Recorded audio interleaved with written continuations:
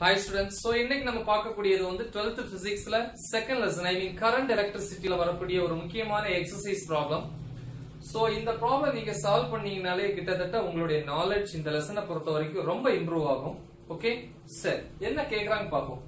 Calculate the currents in the following circuit currents ஃப்ளோர்ல கேட்டிருக்கான் அப்ப என்னலாம் பாருங்க சர்க்யூட்ல என்னலாம் இருக்கு? I1 i2 i3 okay so அப்போ அவன் கேக்குறது calculate the currents. I1 equal to question mark i2 equal to question mark then i3 is equal to question mark. இதுதான் அவன் கேக்குறான். சரி இந்த சர்க்யூட்ல இல்லையா?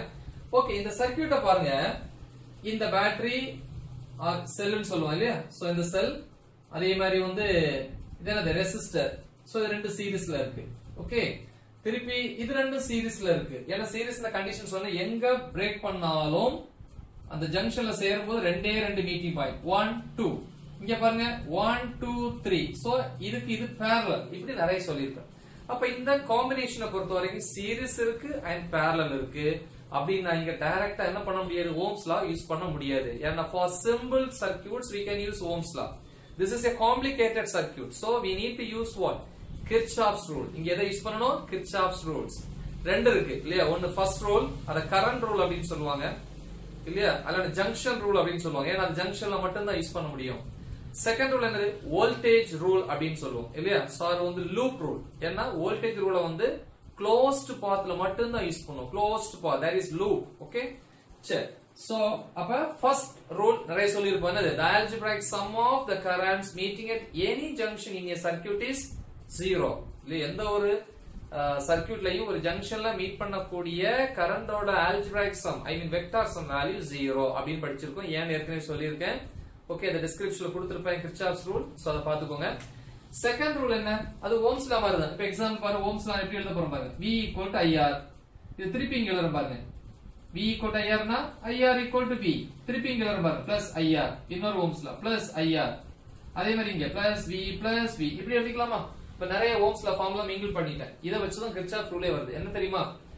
சோ இங்க closed circuit the algebraic sum of the current and the resistance is equal to புரியுதா the algebraic sum of the product of so இங்க என்ன வேர்ட் வரும் product இல்லையா the algebraic sum of the product of current and resistance only இல்லையா in any closed circuit is equal to algebraic sum of the EMFs of the what EMF of the cells in the given circuit இதுதான் அப்ப பாருங்க Ohm's law அந்த பேட்டர்னை base பண்ணி தான் நான் கிர்ச்சாப் second ரூலே கொண்டு வந்திருக்கேன். இதை வச்சு நான் எக்ஸ்பிளைன் பண்ண போறேன். நல்லா பாத்துக்கோங்க சரி ஃபர்ஸ்ட் நேம் கொடுக்கணும் இல்லையா? நேம் கொடுக்குறேன். Junction A B C D E F okay yes so first நான் இந்த எடுத்துக்கலாம். க்ளோஸ்டு பாத் ஆனா க்ளோஸ்டு பாத்ல வந்து கிரிச்சாஃபோட செகண்ட் ரூல் தான் யூஸ் பண்ணணும். நான் ஃபர்ஸ்ட் ரூல் இங்க யூஸ் பண்ணி ஆகணும். ஏன்னா ஐ த்ரீ நான் கால்குலேட் பண்ணி ஆகணும். I one I two I three so நான் ரெண்டு ரூலும் யூஸ் பண்றேன். சரி ஃபர்ஸ்ட் கிர்ச்சாஃப் ஃபர்ஸ்ட் ரூல் எங்க யூஸ் பண்ணணும் ஜங்ஷன் அந்த ஜங்ஷன்ல கண்டிஷன் இருக்கு. ஜங்ஷன்ல கரண்ட் வர்றது மாதிரி இருக்கணும். அதை விட்டு இல்லையா? அப்பதான் ஜங்ஷனுக்கு மதிப்பு மரியாதை. ரோட்ல ஜங்ஷன் சொல்லுவீங்க இல்லையா? அங்க மக்கள் வர்றது மாதிரி இருக்கணும் போறது மாதிரி இருக்கணும். அதே மாதிரி தான் இங்க என்ன சொல்லிருப்போம் ஜங்ஷனுக்கு வரக்கூடிய கரண்ட் இல்லையா? Towards the junction is positive leaving the junction is negative ஜங்ஷனுக்கு வர்றது பிளஸ் ஜங்ஷன் விட்டு வெளியே போறது minus so applying applying Kirchhoff's first rule I mean current rule இல்லையா? Current rule at the junction B. நான் B எடுத்துக்கிறேன். B ல current வருது பாருங்க. வருது. இல்லை ஜங்ஷனுக்கு வருது பிளஸ் அப்ப I1 ஜங்ஷன் விட்டு வெளியே போறது. எது வெளியே போகுது? I2 வெளியே போகுது. அதே மாதிரி ஜங்ஷன் விட்டு வெளியே போறது I3 அப்ப அது ரெண்டு minus I2 minus I3 is equal to 0 அதான first rule algebraic sum of the currents meeting at any junction is equal to 0 என்ன சார் sum of சொன்னீங்க இங்க மைனஸ் போட்டிருக்கீங்க அப்படின்னா இங்க பிளஸ் தான். எப்படி ஆட் பண்ணிக்கணும்? I1 plus i2 plus i3 னு எழுதி இருக்கணும் ஜங்ஷனுக்கு வர்றது பிளஸ் ஜங்ஷன் விட்டு வெளியே போறது இதெல்லாம் i2வும் i3யும் ஜங்ஷன் விட்டு வெளியே போகுது. அப்ப அது ரெண்டும் மைனஸ் இப்படி போட்டாதான் இப்படி மாறிச்சு. Plus into minus minus plus into minus minus okay is equal to zero so இதுல இருந்து ஐ த்ரீ இங்க கொண்டு போயிட்டேன்னா I one minus I two equal to I three this is equation number one இது எதுக்கு தெரியுமா? I1 i2 கால்குலேட் பண்ணீங்கன்னா இந்த ஃபர்ஸ்ட் இக்குவேஷன்ல சப்ஸ்டிட் பண்ணா i3 கிடைக்கும். அதுக்காக தான் அந்த ஃபர்ஸ்ட் ரூலை யூஸ் பண்ணேன். சரி. இனி க்ளோஸ் பாத் எடுக்க போறேன். சோ இது ரெண்டும் எடுத்துக்கலாம். க்ளோஸ்ட் பாத்ல தான் வந்து நம்ம என்ன பண்ண முடியும்? கிர்ச்சாஃபோட செகண்ட் ரூலை யூஸ் பண்ண முடியும். சோ அப்ப இது ஒரு க்ளோஸ் பாத் எடுத்துக்கிறேன். இது ஒன்னு எடுத்துக்கலாம். எடுத்துக்கலாம் இல்லையா? Okay anyway so applying Kirchhoff's என்ன ரூல் வோல்டேஜ் ரூல் எங்க யூஸ் பண்ணணும்? ஜங்ஷன்ல கிடையாது. இங்க ஜங்ஷன் இல்லையா? ரூல் அட் ஜங்ஷன் பி எழுதியிருப்போம். அட் ஜங்ஷன் பி இது ஜங்ஷன் பி ஆனா வோல்டேஜ் ரூல் எங்க யூஸ் பண்ணணும்? To the closed path. Kirchhoff voltage rule to the closed path. Closed path எது இது எடுத்துக்கலாமா A B E F A. A B E F A okay voltage rule இதால இருக்கும் பாத்தீங்களா எதை எதையும் மல்டிப்ளை பண்ணணும் கரண்டையும் ரெசிஸ்டன்ஸையும் பாருங்க இதுவே வரேன் ஐ ஒன் அப்படியே வருது. அதுல ரெசிஸ்டன்ஸ் இல்ல. அப்படியே கீழே வருது. கரண்ட் ஸ்பிளிட் ஆகுது. ஏன்னா பேரலல் காம்பினேஷன்ல கரண்ட் வந்து சேஞ்ச் ஆகும்னு படிச்சிருக்கீங்க. இல்லையா? அப்ப ஐ ஒன் வந்து பிரியுது. ஐ டூ ஒரு பார்ட் ஐ த்ரீ இப்ப இந்த ஐ த்ரீ தான் இந்த ரெசிஸ்டர் வழியா வருது.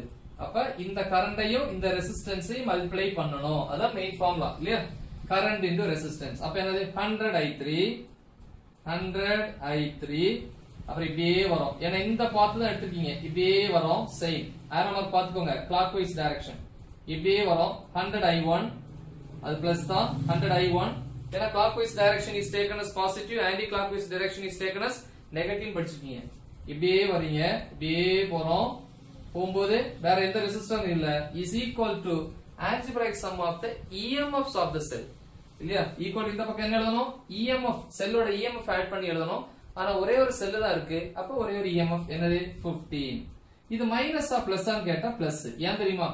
எப்பவுமே ஒரு பேட்டரியில வந்து voltage positive I R current வந்து பாசிட்டிவ்ல இருந்து நெகட்டிவ் வரும்.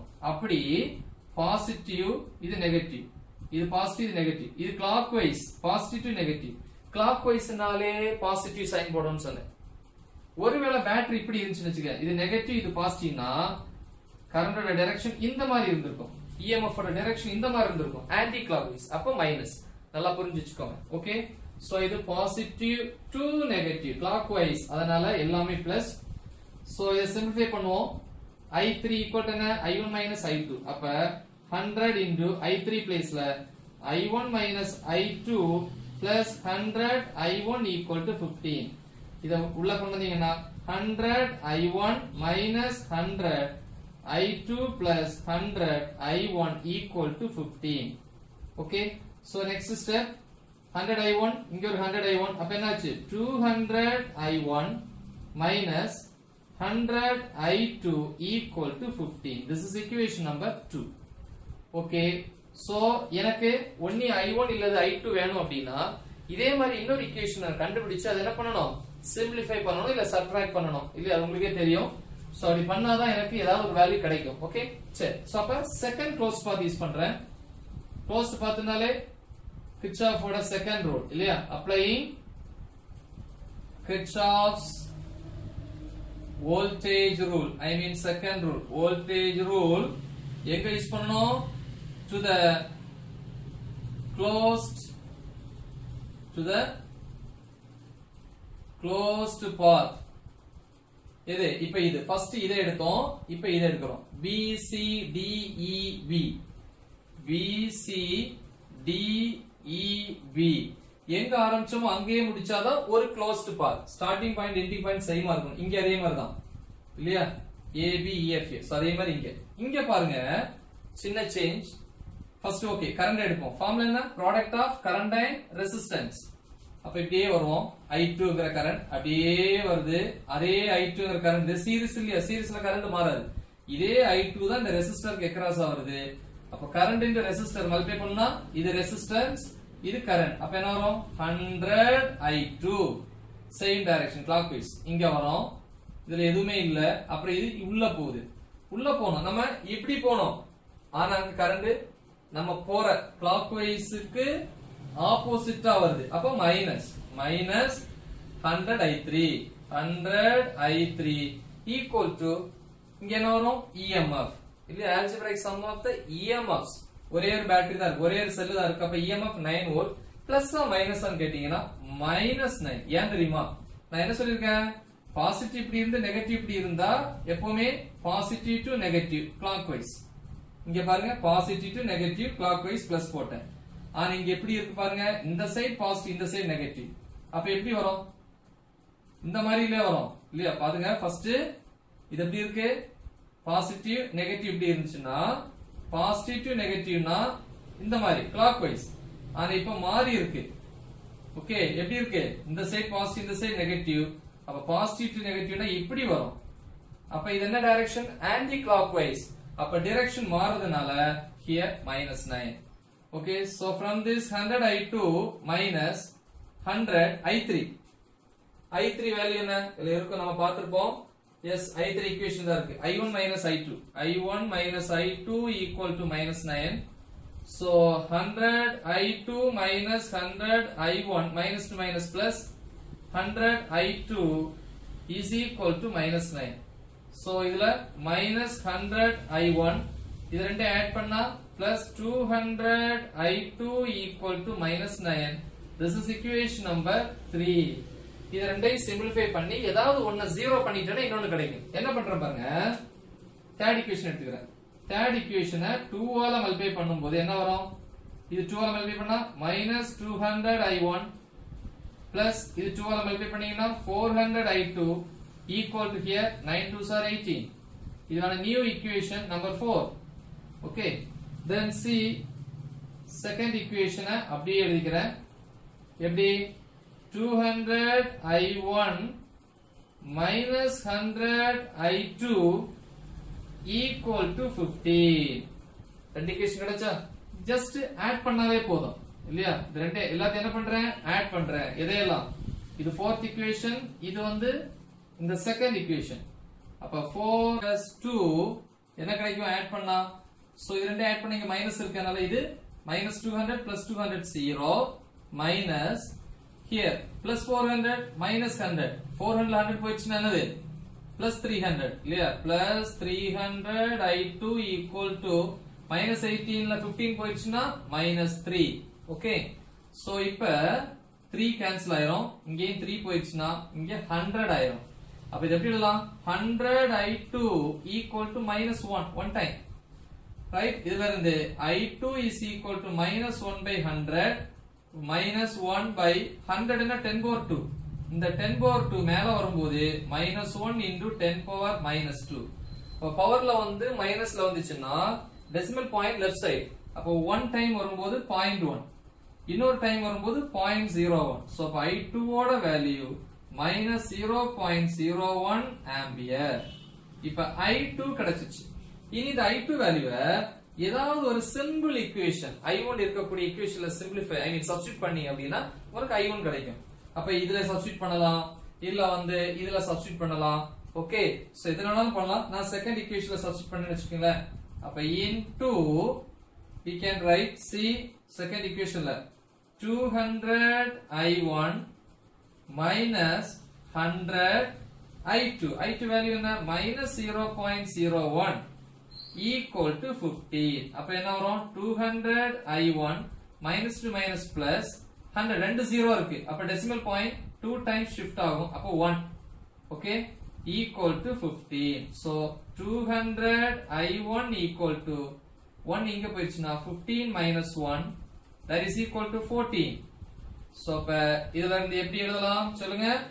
200 i1 equal to 14 அப்ப i1 is equal to 14 by 200 அப்படின்னு வரும் இல்லையா 14 by 200 டிவைட் பண்ணா எப்படி டிவைட் பண்ணலாம் 7 2s are 14 here 1 0 0 100 times so 7 இது மேல போச்சுன்னா into 10 power minus 2 ஏன்னா 100 என்ன 10 power 2 மேல வரும்போது 10 power minus 2 இப்ப டெசிமல் பாயிண்ட் வைக்கும்போது ஒரு பாயிண்ட் லெஃப்ட் சைடு மூவ் ஆச்சுன்னா பாயிண்ட் செவன் இங்க two times so zero point zero seven ampere இது ஐ ஒன்னோட வேல்யூ ஓகே சோ இப்ப ஐ ஒன் கிடைச்சிருச்சு ஐ டூ கிடைச்சிருச்சு.